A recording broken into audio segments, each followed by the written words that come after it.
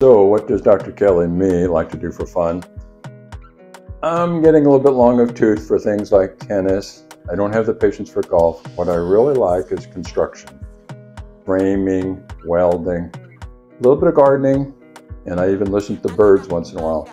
But when I was at training at UCSF, I was told by a wise professor, you know you're getting old when you start bird watching or gardening.